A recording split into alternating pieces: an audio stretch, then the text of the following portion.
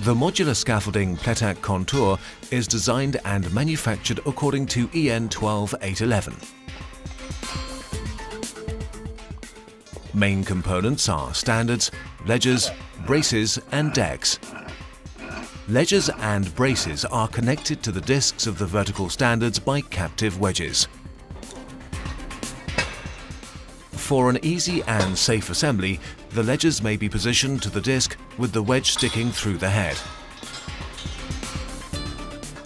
In the next step, the ledger head has to be assembled in the approved way. The wedges have to be fixed using a 500 gram hammer.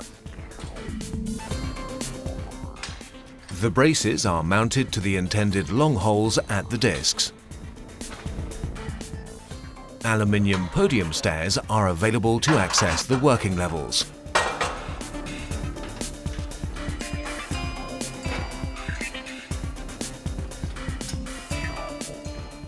Working platforms are realised by self-locking system decks.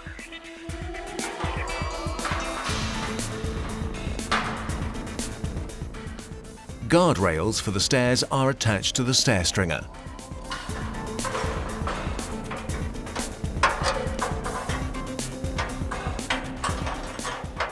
Further lifts are assembled in the same way.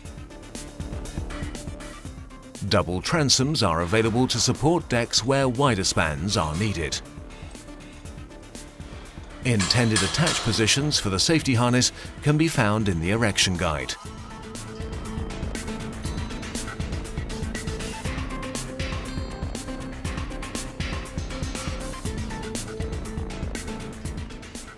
Toe boards complete the side protection of the working levels. The only tool required for the assembly of the scaffolding is a hammer, excluding four wall ties that are not shown. The stability of scaffolds has to be approved before use.